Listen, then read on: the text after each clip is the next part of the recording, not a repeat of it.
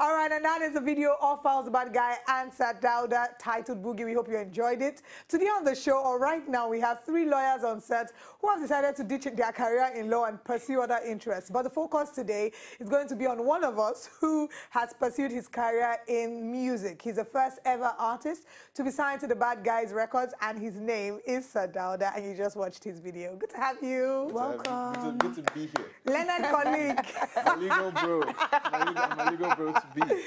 Good to have you. Good to have you. Thank you for joining us on the show. Now, a while ago, we had your first big break video, but it's actually a delight to get to hear from you directly. Right. So at that point, you've gotten called to bar. Yes. So at what point did you decide to ditch your career in law to pursue one in music? First day of law school. No, I'm kidding. I'm kidding. I'm kidding. I'm kidding. I'm kidding. I'm kidding. I'm kidding. No, um, okay. um, I've I'd always known for a long time that I was going to do something in the entertainment. I've always been a very artistically artistically inclined person, I guess. So, um, but there's something about the law as well, which is art in its own, because it's literary art as well, mm. and it's also the art of human interaction, basically. So that's it's. I wasn't straying too far, but yeah, but yeah. Okay, um, so I, am I'm, I'm tempted to ask you this question. Okay. Your study of law, was it really what you really wanted? Or it's an issue of, my son, you are Trying very to please brilliant. somebody. I know, you should do law. Um, okay, so there's two parts to that answer. Of mm. course, I mean, based on where we are, African parents, Nigerian parents, they want you to have something that's structured and all those kinds of things. That yeah. was partly there as well. But um, my folks, they, they also wanted me to follow my heart, follow my dreams. And, and after one or two, in the beginning it was a bit difficult, but after I took them to one show and they saw the reaction, they were like, okay, okay, maybe, maybe this probably, maybe you can do this. Are they well. lawyers?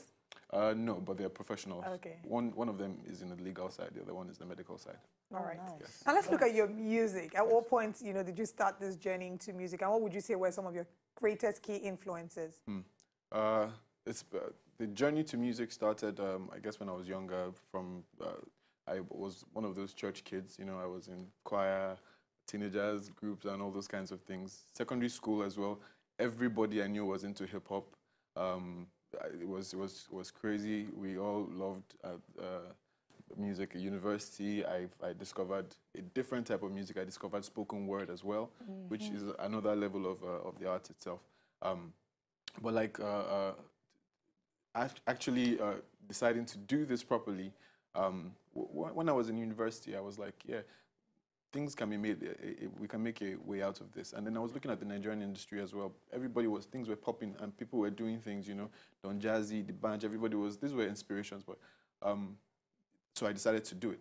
But like my own musical influences, um, I listen to every, I've been blessed to have friends that have very good taste in music. So they just introduced me to one thing or the other thing that I haven't heard before. But like, um, I love music from the 50s. I love country music. Nice. I love hip hop. I love um, uh, R&B. Uh, I love world music. You know, it's, yeah, yeah so it's a big combination. I try to, I try to put a little bit of this and a little bit of that. Yeah. Okay, so how far is too far when it comes to producing a record? Mm. For example, people these days enjoy live performances a lot. Yes. And then we also have artists who have great hits mm. but can't actually do live performances. Live performances, okay. So how far is too far mm. when you want to get a record done? When you want to get a record done? I guess like so every artist has to decide. Every artist has to decide what, what kind of artist they want to be. In this industry, in industries abroad or wherever, you can be just a studio artist and you might not really go on stage and you just be writing and recording and, and playing your but out here, we really have to pursue our music in person. You have to chase your music. You have to see your fans. You have to. I mean, artists out there do that too, but like, you have to here. You really have to be there in person. So when you're recording, I guess you also have to think about how do I perform this? What mm. will be the setup uh, and all those kinds of things. But um, it depends on what kind of artist you are. It depends on what kind of music you play. It depends. Some some some some kind of music. There's almost no music that can be translated into live performance. So you can you can. It doesn't have to be one either or. Okay. It could be it could be both. Let's talk about your signing to the Bad Guy record. Yep, yep, yep, yep. How would you say that has impacted your career, and how mm. did you get Falz to notice you and to sign you up? Mm, okay, I'm interested so, in that story. Uh, okay, so I mean, he's a lawyer as well. Yes, he is. Um, so like, it, from back in uh, in in school times, in university times, um, I, I, I met a person who was close to him. I met his sister. We became friends. And it was like, my brother does music as well. I was like, oh, let me listen to it. And I listened to it, and I was like, that's very interesting. That's very different. Because what, what was coming, this was Shakara, this was that, the first. Yes. So I was like, this is very different, you know. So um, we'd been communicating, we've been having, yeah. And, uh, and uh, I've, I've, uh, I've been a fan of his music for a while, and he's been a fan of my music for a while, and we talked about it. It was something that was, was going to happen. I had a few things, the legal part, I had to finish law school, I had to finish lots of things. So I had to do all those things before actually coming into it uh, properly. But it's been, it's been something that was in the works for a long time. And how would you say that has impacted your career?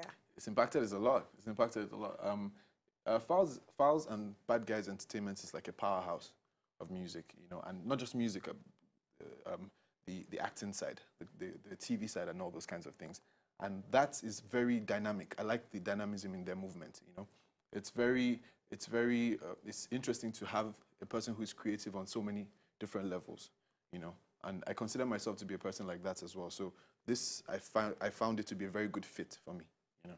Oh, nice. All right, let, us weigh in a little bit. You know, we'll come to talk about your latest single, but okay. I'm curious to hear your thoughts on the Grammys 2019. Everybody's talking yo, about the Grammys. There's a drama yo. between Nicki Minaj and Cardi B, and it's as if there's they're pitching artists against each other. So let's talk about which competition which is in wrong. the industry. Yes. How do you see it? I mean, competition should be healthy.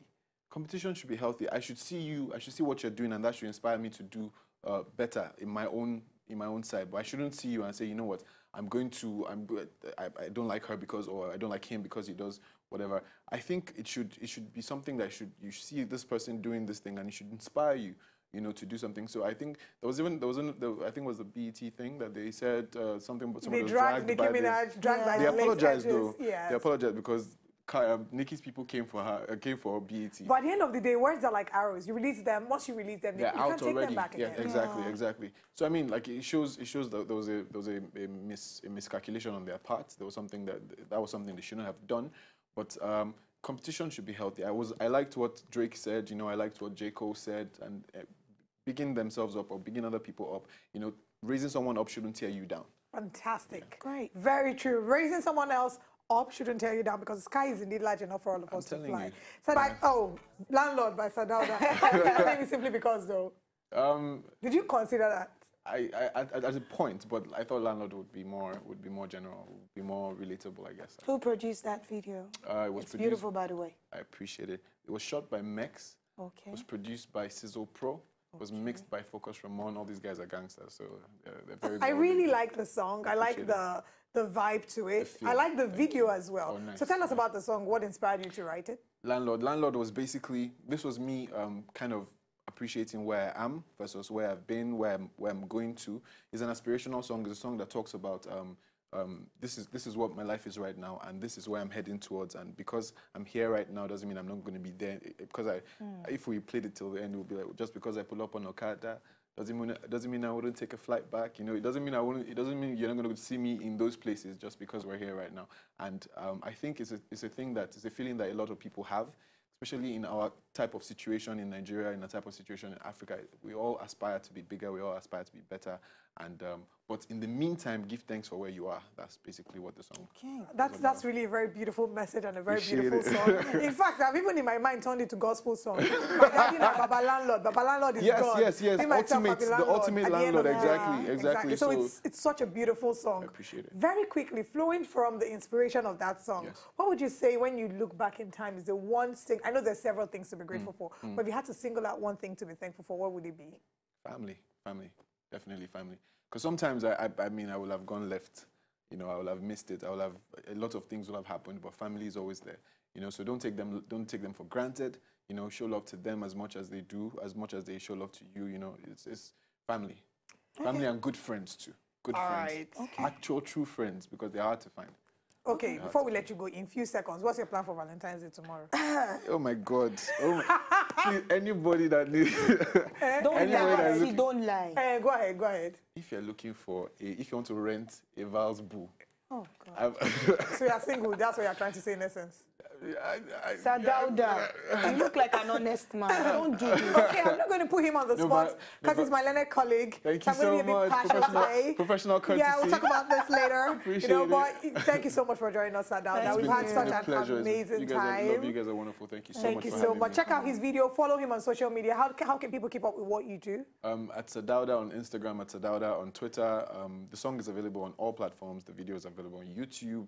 Um, just go wherever iTunes, wherever you find music, you find it. All right. So To enjoy more of these our Ogbonge videos when you just watch, press this button to subscribe on top of our YouTube page. You go love am.